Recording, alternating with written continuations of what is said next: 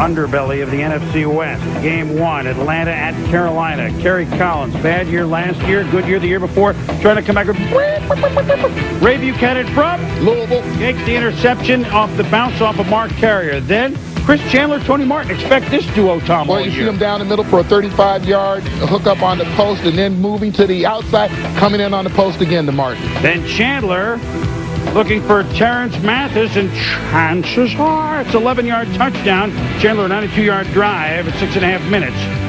And uh, Atlanta in business. However, Kevin Greene in business back in Carolina. Well, Kevin Greene working against rookie Ephraim Salaam here. You're going to see him use the outside move. There he is again, turning the corner. Does a great job of once he gets around the corner, coming to the uh, uh, outside, and there he uses the power move setup. However, Chandler holds in the short pass to work um, like running back Jamal Anderson breaks for a first down, and then Chandler, the rookie Tim Dwight, not Dwight Clark, but Tim Dwight, 44-yard touchdown. The Falcons lead by 9, 16-7, go on to win it 19 to 14. Hey, Chris Chandler, when he finishes games last year for Atlanta, they they won like it was like three out of every four, six and two, or something to that percentage.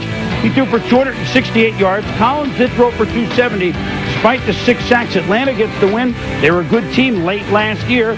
They start off with a win this year.